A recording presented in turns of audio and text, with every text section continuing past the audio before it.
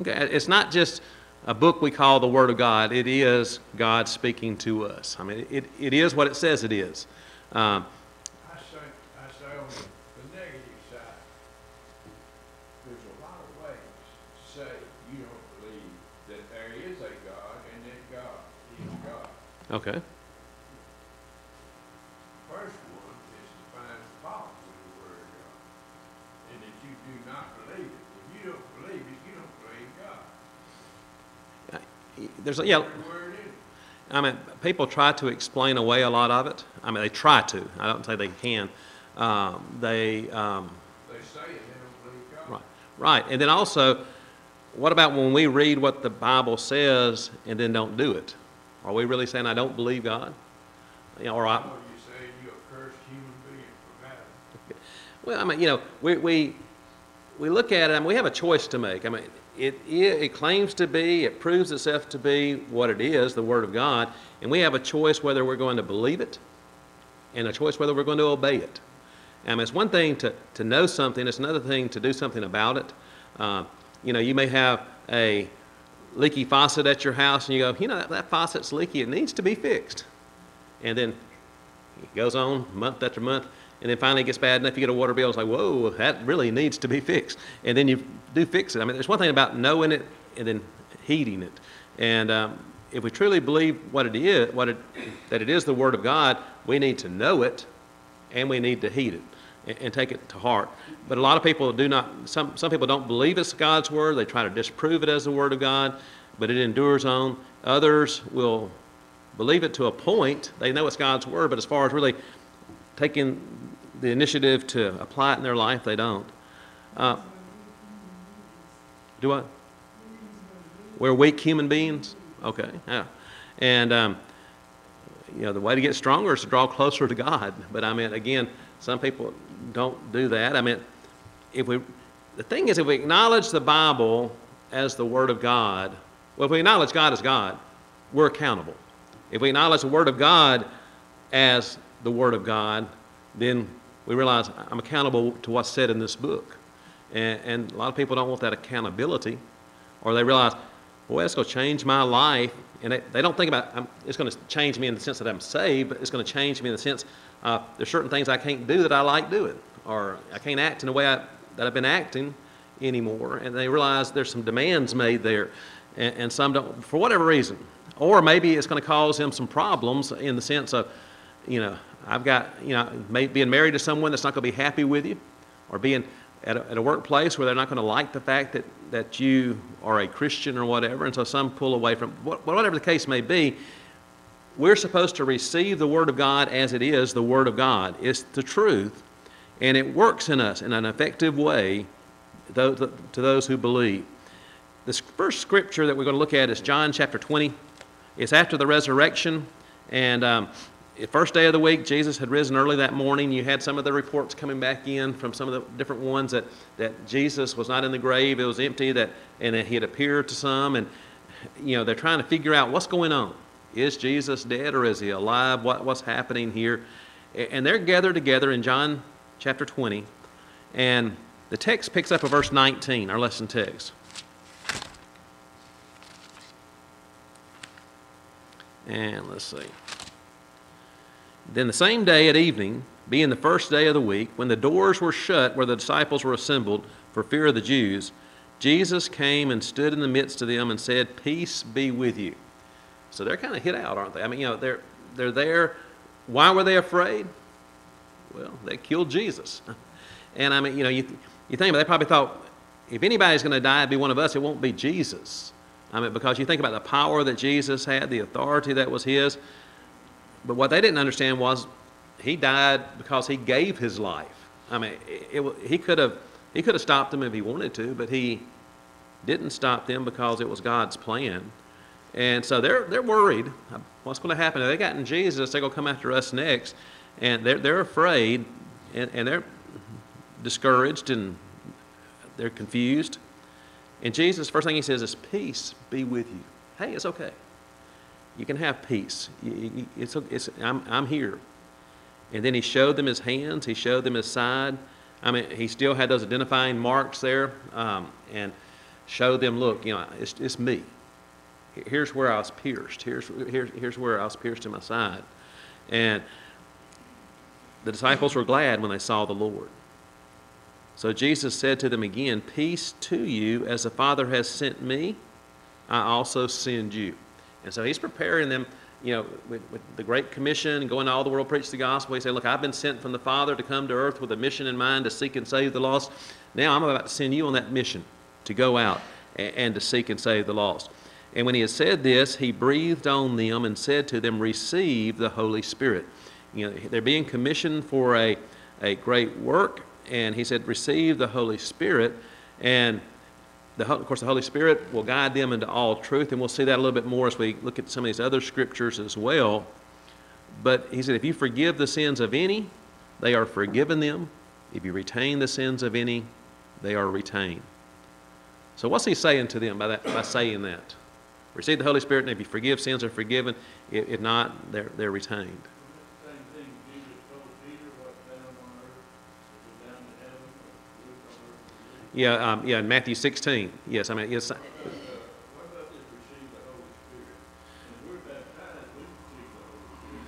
Well, now we go, and we're going to see a little bit more specifically with the apostles, like on the when it, when um, when they fully received the Holy Spirit in the sense of what we say, usually say the baptismal measure of the Holy Spirit, that um, you have the, the tongues like a fire, the sound like a mighty rushing wind.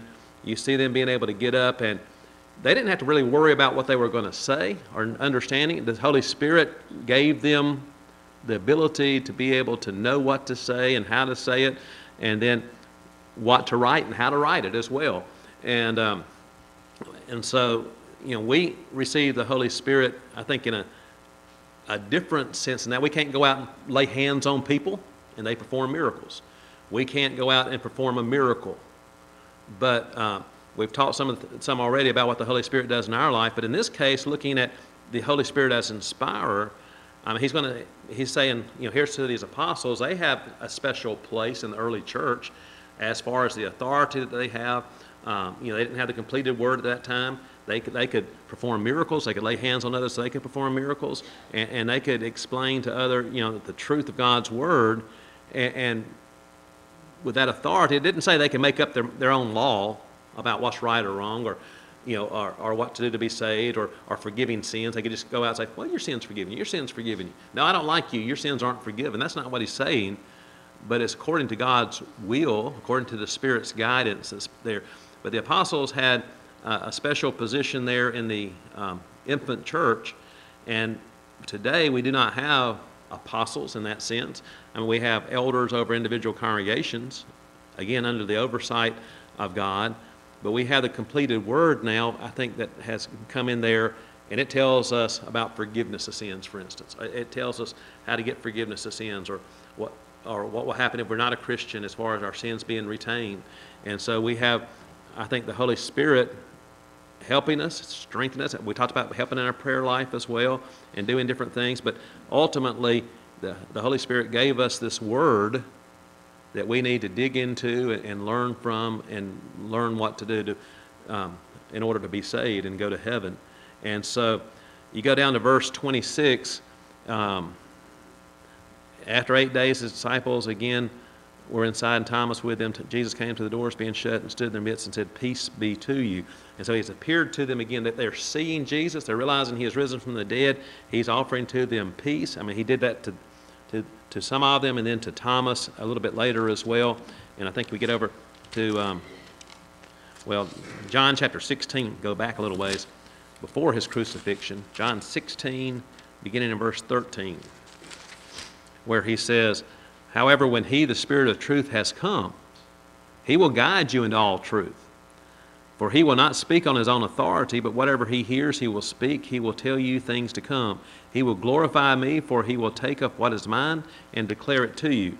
All things that the Father has are mine. Therefore, I said to him, He will take of mine and declare it to you.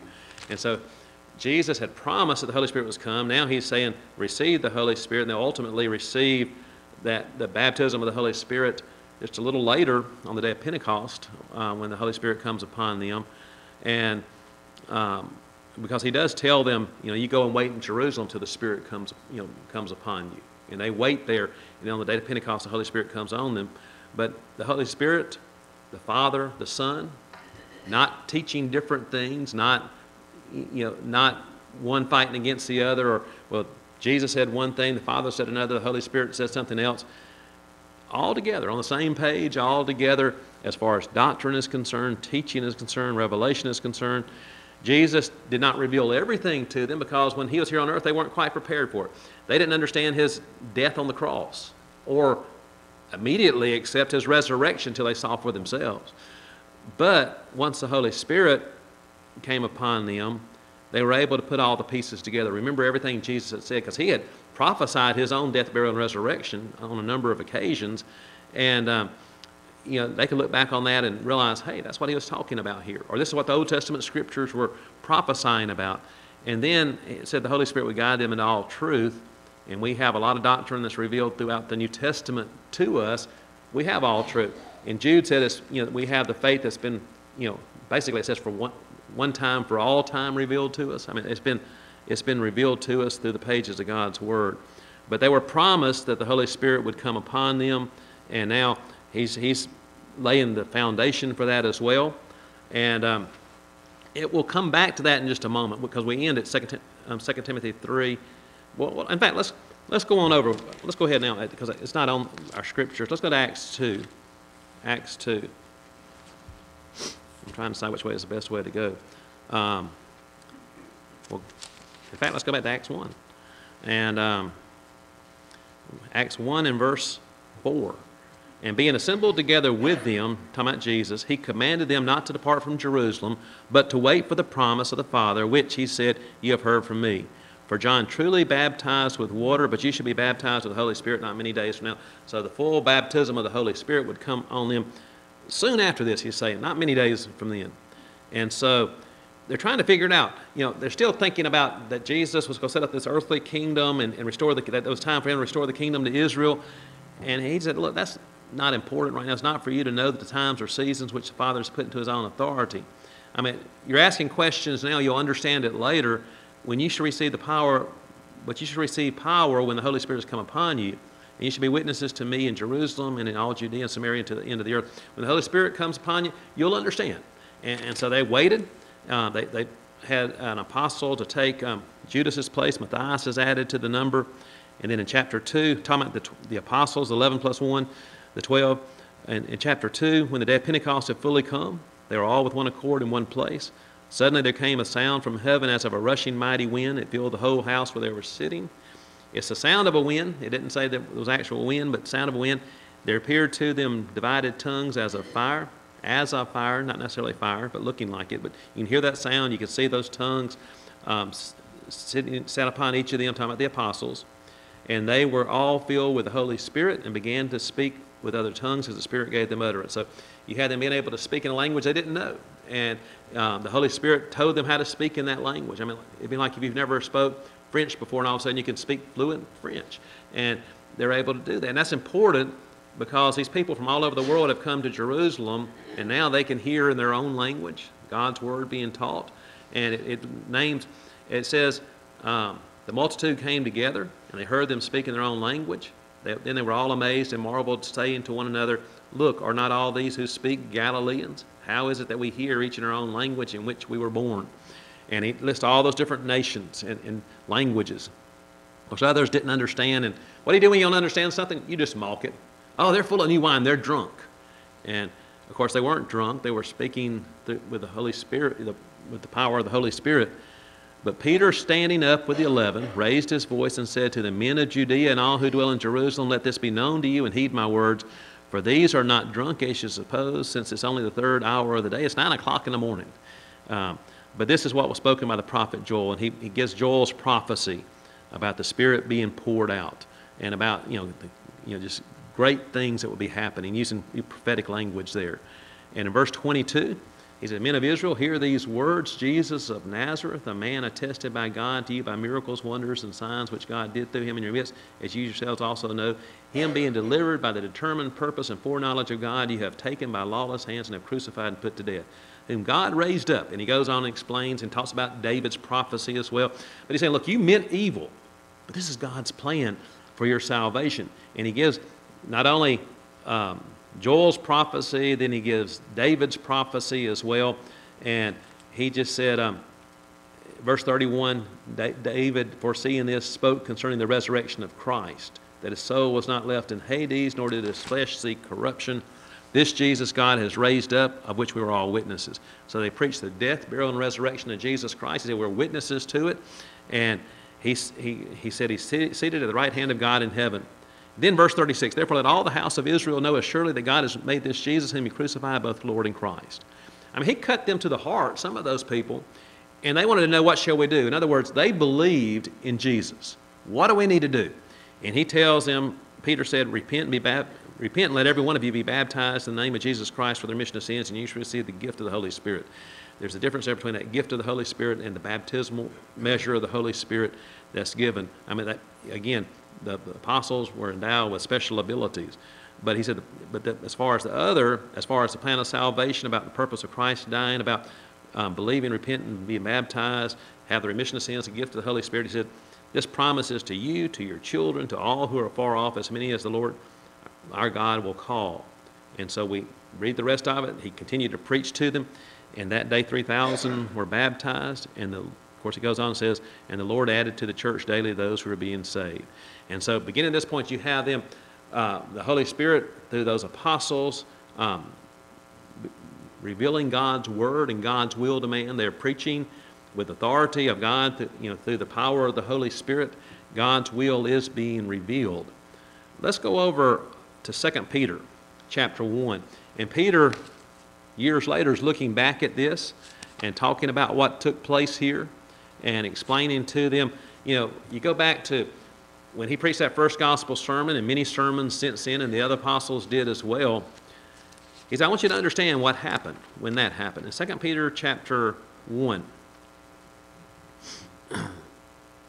and verse 12, he says, For this reason I will not be negligent to remind you always of, the, of these things, though you know and are established in the present truth. He said, Yet I think it's right, as long as I'm in this tent, to stir up, to stir you up by reminding you. And so he said, Look, I, am going to remind you again and again and again of these things. I mean, some of the basic foundation, the foundational teachings of the gospel, he said, You need to be reminded. And, and, we don't need to take it for granted either. I mean, we may truly believe Jesus is the Christ, the Son of God, believe the Bible's God's Word, but don't take it for granted that your children will automatically believe that. Instill that into their minds and their hearts from generation to generation. Get them to understand as you do, um, you know, as you understand that this is God's Word, that it is our authority. And, and we need, you know, I appreciate the, the, those that teach our little ones, and, you know, and then we teach them at home as well um, to, so that they'll believe the same thing. But Peter said, we need to be reminded again and again and again. And in verse 16, he said, here's why. For we did not follow cunningly devised fables when we made known to you the power and coming of our Lord Jesus Christ, but were eyewitnesses of his majesty. You ever heard somebody say that it was just all made up? Why would the apostles, if they had made it up, why would they have made it up? Why would somebody want to make up all this story and claim he's the Son of God and claim that they're apostles or whatever? What would be a purpose in making it up if it's not true?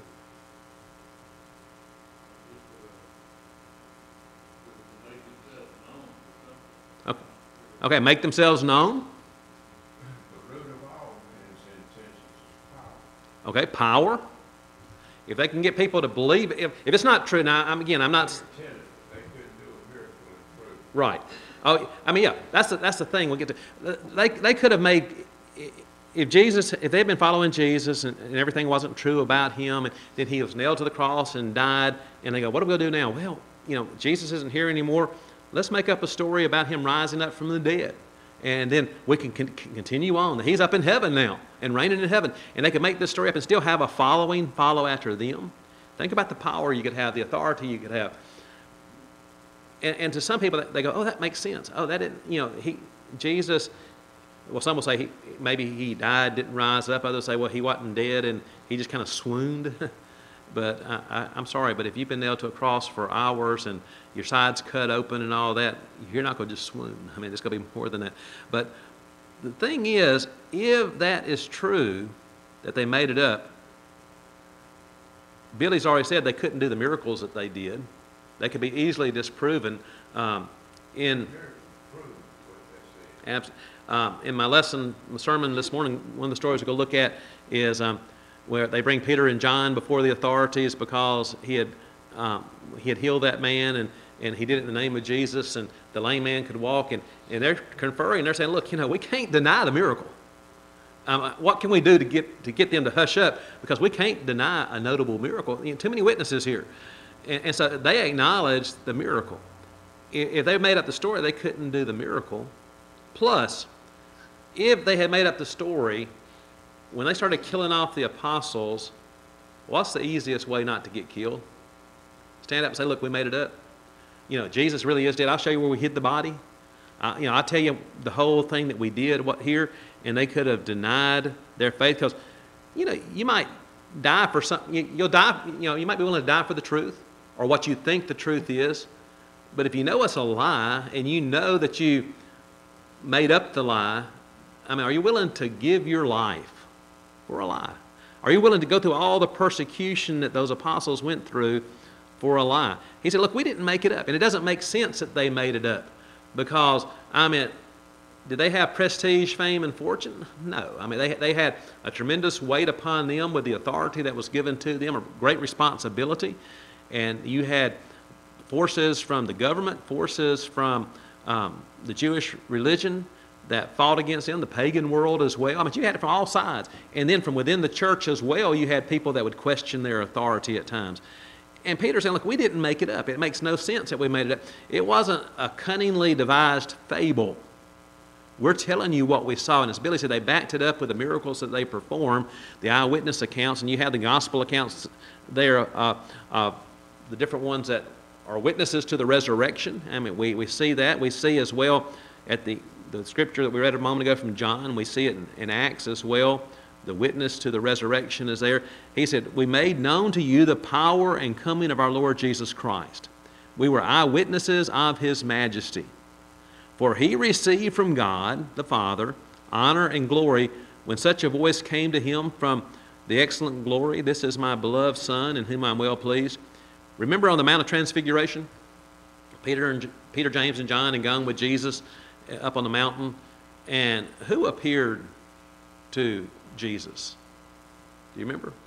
The two Old Testament figures Moses and Elijah. And they talked together. And of course, Peter got the bright idea to build what, three tabernacles? Let's, let's honor all three of him. Jesus, I'm putting you right up there with Moses and Elijah. I mean, Moses, the one that the law was given to, the Ten Commandments, tables of stone was given to, that led Israel. Um, Elijah, representative of all the prophets, and you think about all that Elijah had done. Jesus, you know, you're right up there with those. But what happened then? The voice of God spoke and said, This is my beloved Son in whom I'm well pleased. I mean, it's Jesus, not Moses and Elijah. Moses and Elijah were important, they were godly men, but they prepared the way for Christ to come. You know, you look at the promise made to Abraham of a seed to come, you look at the law, and it's all looking forward to Christ coming, a shadow of what was to come. You look at the prophets prophesying about the coming Messiah and his kingdom. And, and Peter needed to understand, we need to understand, Jesus wasn't just a great man and a great prophet or a great religious leader. He is the Christ, the Son of God. And Peter said, Look, I learned. I understood. I understood. He, he is not on a level with Moses and Elijah. He is greater than Moses and Elijah. You know, he's God in the flesh. And he said, God, the Father, put his seal of approval on Jesus, and we are witnesses to that. We heard the voice which came from heaven when we were with him on the holy mountain. And so he said, We heard the voice. We heard it with our own ears. We saw it with our own eyes. The glory, you know, Jesus uh, shining forth and, and um, the others fading away. And he says, And so we have the prophetic word confirmed. He said, You go back to those prophets, they prophesied that the Messiah would come. And you look at the, the prophecies of Daniel, and you can get it down to the time of the Roman Empire. You look at the uh, prophecies of Isaiah and you, the virgin birth, and you can talk about being born in Bethlehem and raised in Nazareth. You can look at prophecies concerning his ministry and then about his death, burial, and resurrection. Um, he said those prophecies were made a long time ago, over a period of many, many years. And um, he said, in all of that, it's been confirmed. You know, on page 125, for those who have a book, it says, talking about the Word of God, it says the Bible contains 66 books. 39 books are in the Old Testament, 27 books in the New Testament. These were written over a span of some 1,600 years. Approximately 40 individuals wrote either entire books or portions of Scripture. Some of these individuals were highly educated. Moses was raised by the daughter of the Egyptian Pharaoh and no doubt received the best education available. Paul was trained by the foremost Jewish rabbi of his day. Others, however, received little of any formal education. Amos was a farmer. Peter and John, fishermen by trade, were uneducated and untrained. Nevertheless, the product of these various individuals is both cohesive and coherent. In other words, despite being produced over many years by individuals from diverse backgrounds, lacking the ability to confer with one another, the Bible stands as a unified work that is not self contradictory. The only reasonable explanation for this incredible fact is the involvement of God. And, and so he's saying, look, you, you, look at how it all fits together. There, there's not contradiction there. I mean, some try to find contradictions and mistakes in the Bible, but there are explanations that are there uh, that we can, if we understand it properly and, uh, and put it together properly. And so he said, Peter says, when you begin to look at it, he says, when we look at Jesus, we see the fulfillment of those Old Testament prophets. Jesus Check, check, check on, on every one of them. Didn't miss a one. And so he says, and God put his seal of approval on as well. In fact, Jesus quoted from the Old Testament scripture. I mean, he, he quoted from the Septuagint and version, and so he really put his seal of approval on what the scriptures had to say and, and argued from them for truth. And then God puts his seal of approval, the Father, on, on the Son as well. And he said, when we heard the voice that came from heaven when we were with him on the holy mountain. So we have the prophetic word confirmed, which you do well to heed as a light that shines in dark, a dark place until the day dawns and the morning star arises in your hearts. He said, now if you don't get it, let's go a little bit further. Knowing this first, that no prophecy of Scripture is of any private interpretation. What does that mean? No Scripture is of any private interpretation. We let the Bible speak. Um, another word that's used there as well, it can be of, of, any private origin. You know, it doesn't come from God. Um, well, it, just, that, that is a very good point because if you change it to where it's interpretation, there are people who have used this passage to say, well, you can't, you don't know enough to interpret Scripture. We will interpret it. It's not of your private interpretation. Right. Right. Not our private order. We didn't do even Christ said, I didn't John spoke with the I it wasn't me. It was the word of God. All the text points back to God.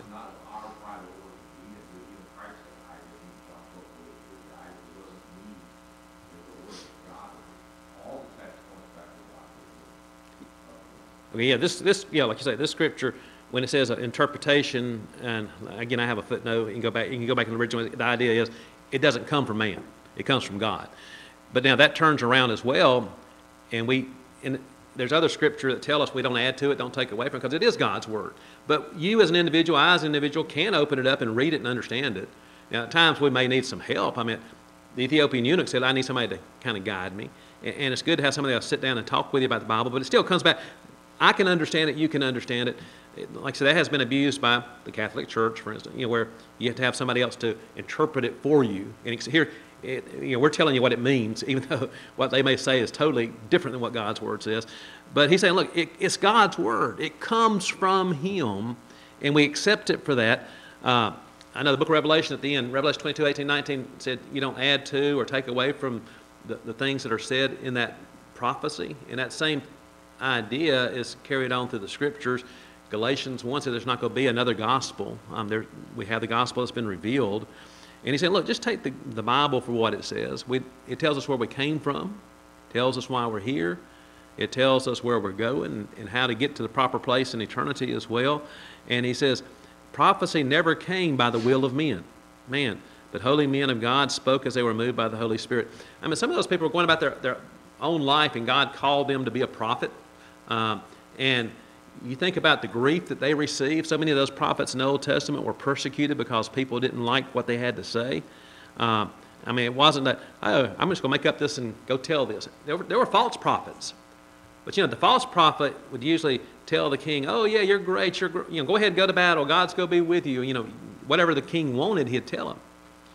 But a true prophet would tell it like it was, or tell it like it is. And he said they, they were moved by the Holy Spirit. So all Scripture comes from the Holy Spirit. And let's go on over to one other one before our time runs out. 2 Timothy 3 is probably the one we think of the most when we look at that. 2 Timothy 3 16 and 17. I mean, we'll go back to um, verse 13. 2 Timothy 3 13. But evil men and impostors will grow worse and worse, deceiving and being deceived. We have that today, don't we? But you must continue in the things which you have learned and been assured of, knowing from whom you have learned them.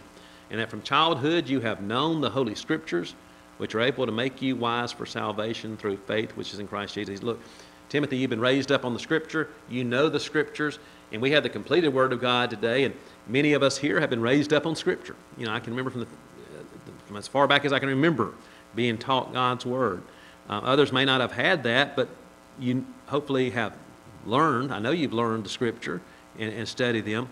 And he said they, they make you wise for salvation. It's the Scripture that tells us about salvation. Many people want to go on their feelings or their emotions or think that the Holy Spirit guides in a way that's totally opposite than what God's Word says. But he says you can know from the Scriptures how to be saved. You know that Jesus died for you, the sacrifice for our sins, to know that we're lost and dying in sin, but that we can come into contact with the blood of Christ and, you know, we're buried with Him, rise up in newness of life, and we walk in the light, and on it goes, and tells us how to do those things. It says, in fact, all scriptures given by inspiration of God. It is literally God breathed. And in our book, it says, you know, the, the Holy Spirit guided these writers. It says this process is commonly referred, known as inspiration, although the individual authors retain their unique vocabularies. It says, for instance, um, Luke used the term for a needle used by a physician rather than the common term. Uh, they kept their styles of writing and freedom of expression. Paul included personal requests in his letters. But the Holy Spirit worked with the writers to ensure that the very words chosen were exactly what were needed. The inspiration process also ensured that the message conveyed, conveyed was both complete and accurate. So, I mean, you know, you can look at certain writing and say, well, that has the style of Paul or of, of whoever else that's written. But it wasn't their words. I mean, it, was, it came from God. The Holy Spirit made sure that what was written was written was what was needed, what needed to be written, all that needed to be written, nothing more, nothing less. The Holy Spirit as well made sure it was the truth. I mean, some people say, well, it's kind of like Shakespeare was inspired. No. I mean, God didn't just get them excited and say, well, I'm going to write something. No, it was the Holy Spirit guiding them as they wrote those words down. Also, through the, the vessel of a human writer, but still it's, it's the perfect Word of God. And it says it's profitable for doctrine. You know, how, how do we know what to teach? You know, what our teachings as far as um, worship or salvation or Christian living, whatever it may be, or we're talking about God, we're studying the Godhead. We go to the Scripture, that's where we get our doctrine from, for reproof. You ever get reproved, you know, or corrected? You know, here's a person that's out there living rebellious sin, they need to be reproved. There's somebody that's doing things they shouldn't do, maybe unaware or whatever, or um, just a weak Christian, you can need to correct them. There's times we need to be told no.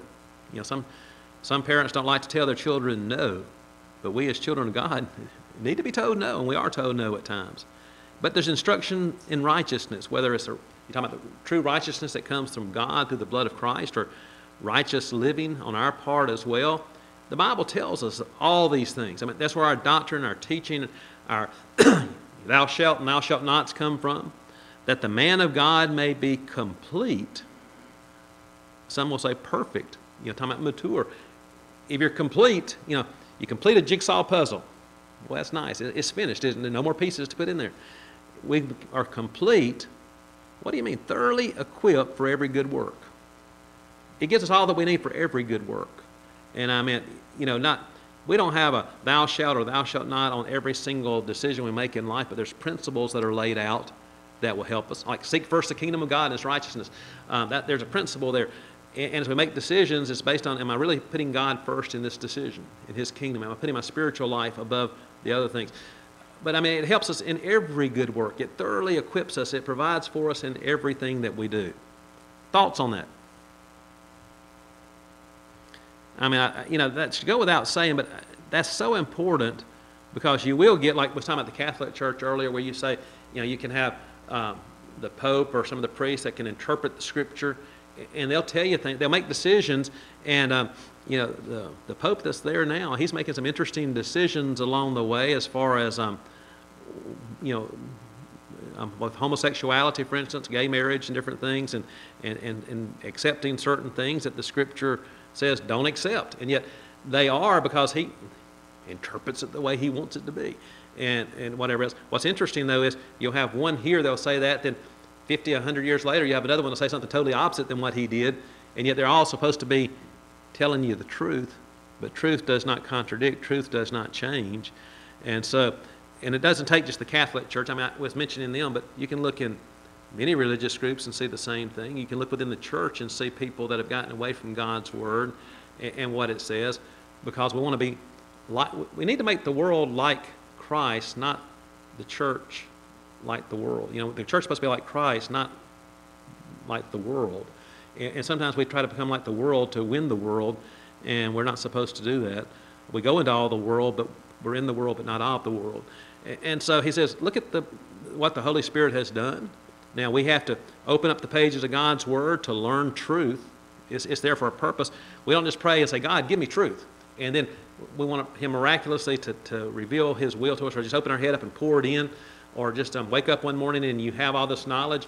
You have to study God's Word. But we do so praying for wisdom and praying for understanding, praying for God's help in that. And God does. I mean, you know, God does help us and, and lead us through that. But, um, but again, the importance of the Bible, don't discount it. You know, we, we don't, I think, I, I say we in general, don't always appreciate it as we should because I was in my office the other day and I can't remember which one of the granddaughters in there. I said, look, I got to look at that one bookcase I was looking, and they asked about the books on there. I said, that whole, all those shelves right there are just different Bibles. And they go, why do you have so many Bibles? I go, you know, really, I don't know why I have that many Bibles. Uh, I said, used to they didn't have it. You, you, now you can look up everything you want on the internet for different versions and stuff. But I said, it's and I tried to explain to her about different versions and stuff. Uh, but anyway, it's easy to take it for granted because it's so readily accessible. But whether you have one copy or a hundred copies, don't take it for granted.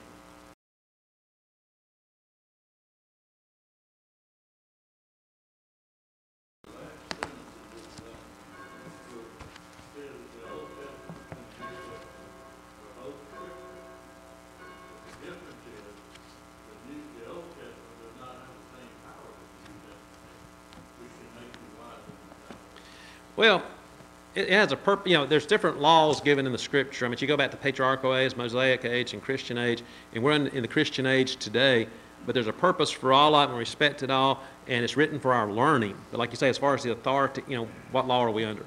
Um, those that will be in the class next week, the new class books up here, we are starting a study of Esther. So we kind of switched gears. Do what? We're done with this book. Yes.